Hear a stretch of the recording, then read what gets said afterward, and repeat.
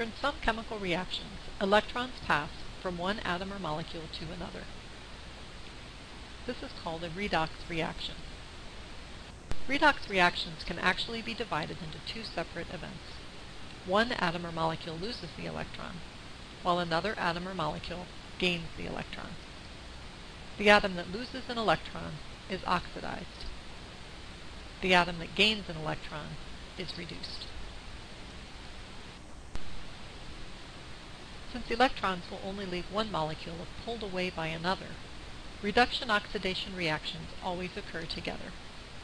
Therefore, we call the overall event a redox reaction. It may seem strange that gaining an electron would be called a reduction. One way to remember this is that gaining a negatively charged electron reduces the charge of the atom or molecule. You can also remember that oxidation is lost and reduction is gain by remembering the acronym oil rig. During redox reactions in cells, electrons are often transferred along with a proton. In other words, a hydrogen atom is transferred. This is still considered a redox reaction. When an electron is moved to another atom, its energy is transferred with it.